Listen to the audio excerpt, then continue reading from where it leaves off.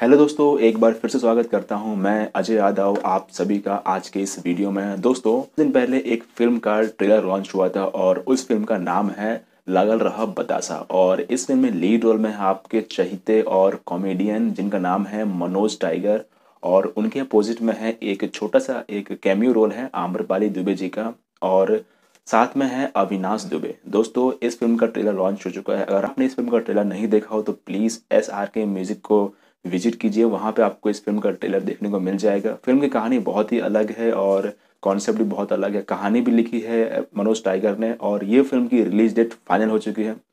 तो दोस्तों, ये फ़िल्म रिलीज़ हो रही है भोजपुरी बॉक्स ऑफ़िस पे 25 जनवरी को और ये फ़िल्म आप ज़रूर देखें क्योंकि इस फ़िल्म की कहानी काफ़ी अलग है और काफ़ी कॉमेडी भरी फ़िल्म है। अगर आपको कॉमेडी फ़िल्म पसंद है तो ये फ़िल्म देखिए और आपको एक्शन और रोमांस से भरी फ़िल्में पसंद हैं तो निरहुआ चाहे लंदन देखिए। क्योंकि दोनों फ़िल्में ही एक दिन रिलीज़ हो रही हैं, इसमें से कौन सी फ़िल्म आप देखोगे, हमें कमेंट बॉक्स में लिख के ज़रूर बताएँ। Thanks for watching.